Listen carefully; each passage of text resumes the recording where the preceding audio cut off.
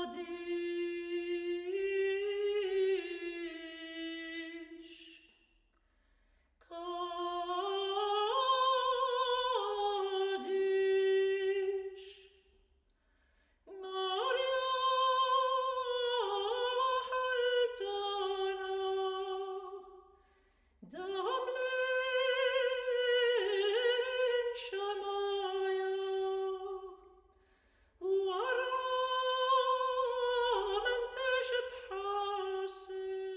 Nous sommes euh, actuellement en Syrie euh, en tant que chrétiens, en tant que Syriens, effrayés de, l'ampleur des violences et nous voudrions retrouver la montagne avec Jésus pour retrouver la paix.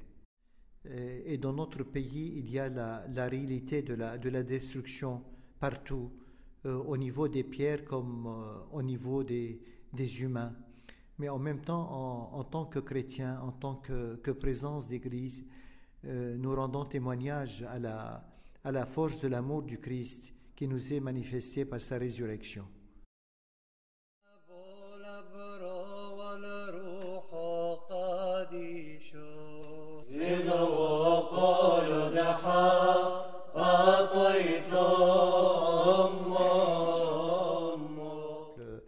Alep, nous avons des, sœurs carmélites euh, euh, qui sont aussi euh, d'origine française et syrienne, qui vivent ensemble et qui donnent leur témoignage de l'Évangile.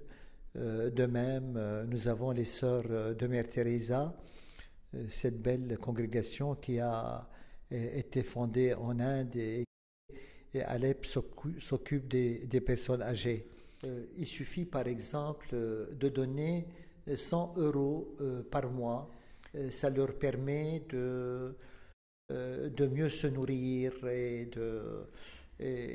d'arriver au bout du, du mois dignement.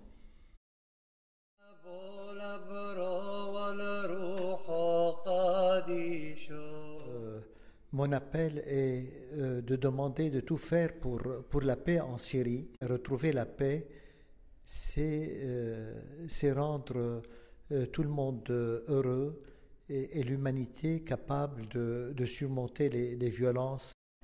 Être chrétien, c'est suivre le Christ jusqu'au bout, vivre le, mystère de la souffrance et dans une attitude de foi, découvrir que, que toujours l'amour de Dieu l'emporte sur toutes les violences et toutes les persécutions.